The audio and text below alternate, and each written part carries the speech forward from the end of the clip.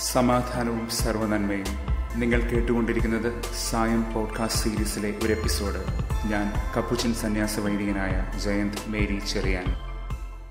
ഇന്ന് പൗലോ ശ്രീഹായുടെ മാനസാന്തര തിരുനാൾ. വളരെ കാതലായ ഒരു മാറ്റമാണ് ശ്രീഹായുടെ ജീവിതത്തിൽ ഇത് ഉളവാക്കുന്നത്. അത് അവന്റെ ജീവിതത്തിൽ പിടിച്ചുലയ്ക്കുകയാണ്.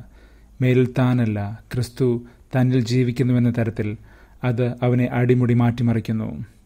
വലിയൊരു സത്യത്തിലേക്കാണ് ശ്രീഹ അന്ന് കൺ തുറന്നത്. അന്ന് ഡമാസ്കസിലേക്കുള്ള വഴിയിൽ തട്ടി വീഴ്ത്തപ്പെടുമ്പോൾ ക്രിസ്തുവും സഭയും ഒന്നാണ് എന്ന സത്യം ഒരു മെയ്യാണ് എന്ന് കോപ്പറേറ്റ് ഐഡന്റിറ്റി. പിൽക്കാലത്ത് ക്രിസ്തുഗാത്രമായ സഭയെക്കുറിച്ചും അതിലെ അവയവങ്ങളായ നമ്മളെക്കുറിച്ചും മെമ്പേഴ്സ് ശ്രീഹ സുന്ദരമായി പഠിപ്പിച്ചു തരുന്നത് ഓർക്കുമല്ലോ. തന്നെ അളവറ്റ സ്നേഹത്തോടെ പുണർന്ന ക്രിസ്തുവിനെക്കുറിച്ചല്ലാതെ പിന്നെ ഒന്നും അവൻ ചിന്തിച്ചിട്ടില്ല. ഗലാത്തിയർ രണ്ട് ഇരുപത് ഇന്നലെ നാം കണ്ടില്ലേ ദൈവത്തിന്റെ ഒട്ടും മായാത്ത ഒരു ദൂരവും ഒഴിവാക്കാത്ത വിശ്വസ്ത സ്നേഹത്തെക്കുറിച്ച് ഖെസേദ്.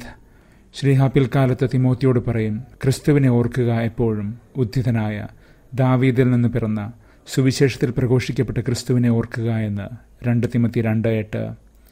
ഈ ദിവസങ്ങളിൽ നാം ദാവീദ് ഭവനത്തെ ഓർത്തു വരികയാണല്ലോ. ക്രിസ്തു നമുക്കായി മനുഷ്യാവതാരത്തിന്റെ എത്ര ആഴങ്ങൾ പുൽകി എന്നതാണ് ഈ ഒരു പിന്തുടർച്ചയുടെ അർത്ഥം. Remember Christ. ക്രിസ്തുവിനെ ഓർക്കുക. ഒന്ന് പിരിച്ചെഴുതിയാൽ റീമെമ്പർ ക്രൈസ്റ്റ് ക്രിസ്തുഗാത്രത്തെ പുതുതായി പണിതുയർത്തുക. അതിന്റെ അവയവങ്ങളെ മെമ്പേഴ്സ് ശക്തിപ്പെടുത്തുക. റീമെമ്പർ എല്ലാവരെയും ഒരുമിച്ച് കൂട്ടുന്ന ആ ക്രിസ്തു സ്നേഹദൃഢതയിൽ. കഴിഞ്ഞ ദിവസം പുതിയ യു കാറ്റ് യുവജനങ്ങൾക്ക് സമർപ്പിച്ചുകൊണ്ട് ഫ്രാൻസിസ് പാപ്പ പറയുകയായിരുന്നു ഈ ഒരു തരത്തിലുള്ള ആഖ്യാനം. സ്നേഹത്തിന്റെ പാരസ്പര്യമാണ് സഭയുടെ നിലനിൽപ്പിന്റെ ആദ്യ പ്രമാണം പോലുമെന്ന്. ആനന്ദത്തിന്റെ സൂത്രവാക്യം പാസ്വേഡ് ഓഫ് ജോയ് അതാണ് ഈ ചിന്തയുടെ പേര്.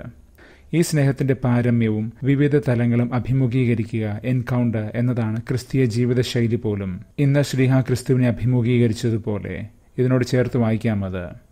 യഥാർത്ഥത്തിൽ ശ്രീഹ കണ്ടത് താൻ മൂലം വ്രണിതമാക്കപ്പെട്ട സഭയെയാണ്. എന്നാൽ അവന്റെ കണ്ണുകളിൽ നിറഞ്ഞതാകട്ടെ ക്രിസ്തുവും. നീ പീഡിപ്പിക്കുന്ന ഈശോയാകുന്നു ഞാൻ അതാണ് അവൻ കേട്ടത്. അവൻ മാത്രമേ അത് കേട്ടുള്ളൂ. നമുക്കായി കൃഷ്ണനാഥൻ മനുഷ്യാവതാരത്തിന്റെ ആഴങ്ങളെ പുണർന്നപ്പോൾ അതിന്റെ ജീവിത സ്വാധീനങ്ങൾ എന്തെന്നും അത് നമ്മൾ ജീവിതത്തിൽ എങ്ങനെ പകർത്തണമെന്നും ഫ്രാൻസിസ് പാപ്പ യുവജനങ്ങളെ ഓർമ്മിപ്പിക്കുന്നുണ്ട്. വിസ് ദ ആൽബർട്ട് ഹുർത്താദോ എന്ന ഈശോ സഭാ വൈദികന്റെ വാക്കുകളിൽ തന്റെ ജീവിതത്തിൽ ഗഹനമായ തീരുമാനങ്ങൾ എടുക്കേണ്ടി വരുമ്പോഴെല്ലാം ആ വിശുദ്ധൻ ചോദിക്കുമായിരുന്നത്രേ എന്റെ സ്ഥാനത്ത് ക്രിസ്തുവായിരുന്നെങ്കിൽ എന്ത് ചെയ്യുമായിരുന്നുവെന്ന്?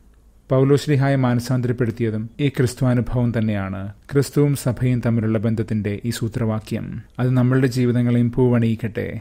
സ്നേഹത്തെ കണ്ടെത്താൻ ക്രിസ്തുവിനെ കണ്ടെത്താൻ.